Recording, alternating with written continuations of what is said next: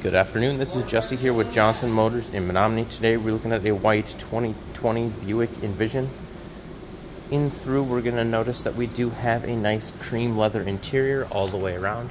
We have a button down here on the door to open the hatch.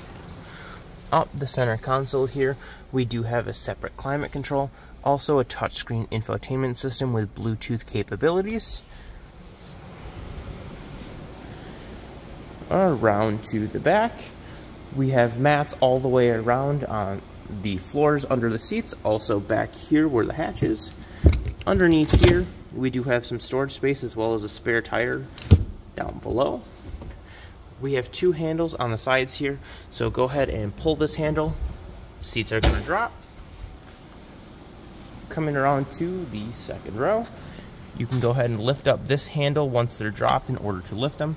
We also have a nice spot here for car seats floor mats like I was mentioning. Also we have heated seats, climate control back here, and plenty of spots to charge phones, laptops, anything like that.